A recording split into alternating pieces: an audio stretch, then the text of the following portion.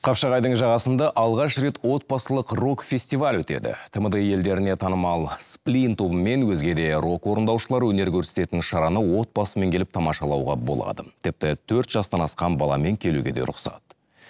Family Fest шарасына алынған билет Қапшағайдың оңтүстік батысындағы жеке жағажайда тігілген шатырларда демалуға, көлде шомылуға мүмкіндік береді.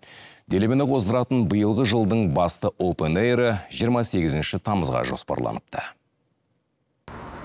Қапшағай су қоймасының оңтүстік батыс жағалауында қызу тіршілік тоқтамай жүріп жатыр. Песчаная коса демалыс орнында құмды тегістеп жатқан техникалар дәл осы жерге 500-ден астам көлік сиятын тұрақ жасап әлек. Өйткені небәрі үш аптадан кейін басталатын Family Rock фестивальға ТМД елдеріне танымал болған әншілер келетіндіктен жұрттың қарасы қалың болады деп күтілуде. Скоро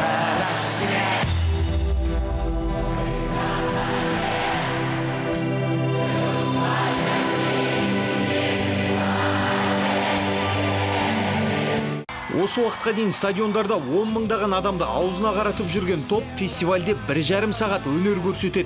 Сондай ақ сахна төрінде үркер мен мотороллер тобы да рок жанрында ән шырқамақ. Это семейный рок-фестиваль. Бұл отбасылық рок-фестиваль. Әдетте ересектер өздерінің сүйікті әртісіне бару үшін бүлдіршіндерін қайда қалдырамын деп әбден басын қатырады. Алайда бұл фестивальге қонақтарымыз 4 жастан асқан балалармен келуіне мүмкіндігі бар. Фестивальдің хедлайнерлері Сплин тобы, смысловые галлюцинации тобының экс-солисті Сергей Бобуниц, Total тобы және өзіміздің Лампы оркестра тобы. Көрермендер делебені қоздыратын рок әуенін тыңдаудан бөлек сан түрлі ойын сауыққа да қатысады. Осылайша шара жалпы екі күнге созылмақ. Жұрт ашық аспан астында түнеу үшін тіпті арнайы мың адамға арналған шатырлар тігіліп жатыр. В рамках э, рок-фестиваля... Рок-фестиваль аясында біз билеттерді сатумен айналысамыз. Біз үшін қаламыздың әрбір тұрғыны билеттерді қиындықсыз сатып алып, іс-шараға қатысуы маңызды. 4 мыңға жуық көрермен күтілуде. Қазіргі таңда билеттердің жартысынан астамы сатылды. Кімде-кім сатып алып үлгермесе, асыққаныңыз дұрыс болар.